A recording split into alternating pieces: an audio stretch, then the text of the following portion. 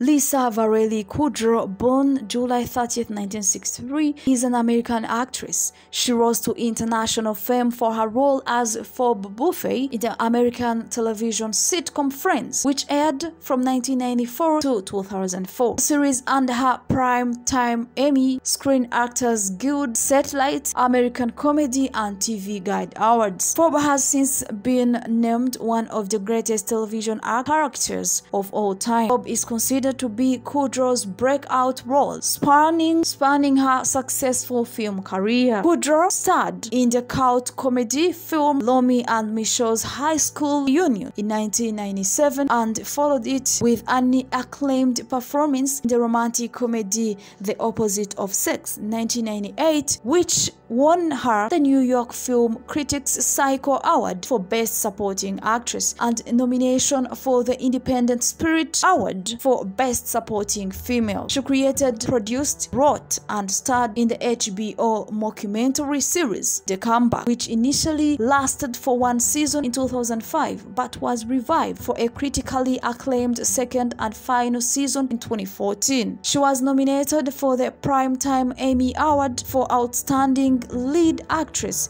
in a Comedy Series for both seasons.